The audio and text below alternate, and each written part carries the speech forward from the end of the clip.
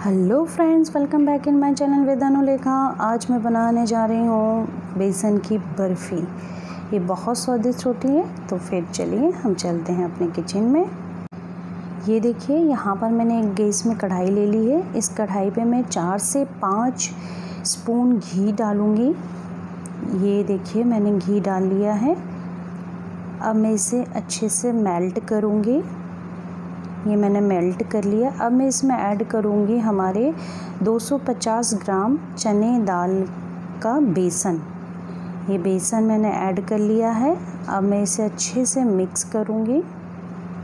मैंने आधा अभी लिया है और थोड़ा बहुत मैंने अभी बचा के रखा है। नहीं एक साथ हम अगर डालते हैं तो इसमें गठले आने के डर होते हैं। तो इसीलिए मैंने थोड़ा थोड़ा करके डालूँगी मैं फ्रेंड्स यहाँ पर। ये देखिए। अब थोड़ा मैंने अभी डाला है, ऐड कर दिया। अब मैं इसे अच्छे से फिर मिक्स करूँगी।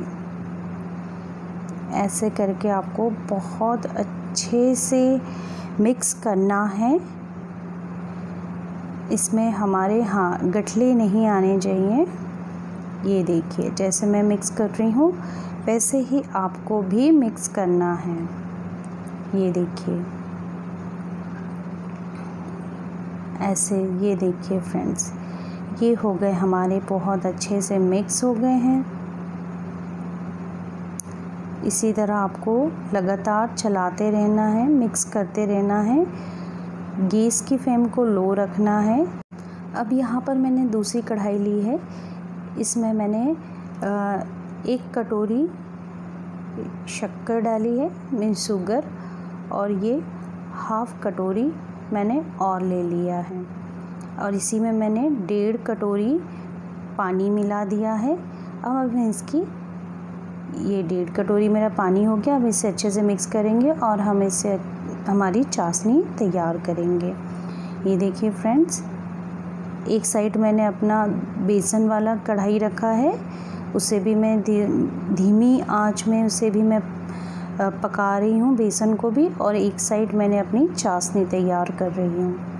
तो ऐसे ही करिएगा आप ताकि आपका जल्दी से ये बर्फ़ी तैयार हो जाएगी। ये देखिए फ्रेंड्स, मेरी चाशनी में अब बबल्स आने स्टार्ट हो गए हैं। ये उबाल आ रहा है अब इसमें।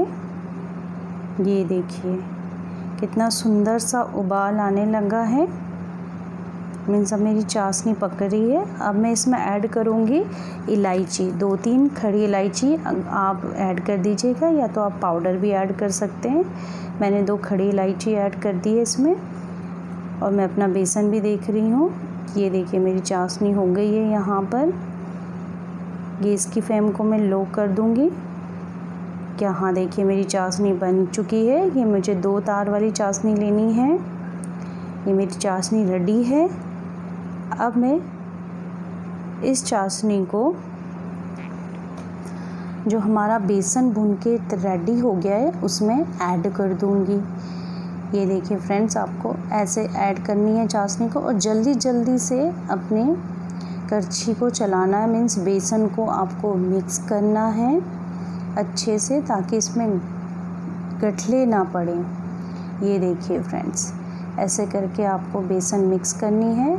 अब मैं इसमें ऐड कर दूँगी वन टीस्पून घी, जिससे कि हमारी ये अच्छे से मिक्स हो जाए और कढ़ाई पे ना लगे। ये देखिए। अब मैं एक थाली लूँगी, उसमें मैंने घी लगा दिया है। अब मैं अपने बैटर को इसमें निकाल लूँगी और अब मैं इसे चम्मच से अच्छे से सेट करूँगी। ये देखिए फ्रेंड्स ऐसे आपको सेट करना है कि स्पून ले लीजिए, उसमें अच्छे से सेट करिए। ये देखिए, अब इसके बाद मैं इसमें कट लगा दूँगी फ्रेंड्स ये मैंने कट लगा दिए हैं पूरे, आप बर्फ़ी जैसे आप इसमें पूरे में कट लगा दीजिए। ये देखिए, अब मैं इसमें ड्राई फ्रूट ऐड कर दूँगी। ये मैंने ड्राई ड्राई फ्रूट ऐड कर दिया है फ्रेंड्स और इसे मैं अब सेट होने के लिए छोड़ दूँगी। तो देखिए ये मेरी बर्फ़ी रेडी है। इसे आप भी ट्राई करिए।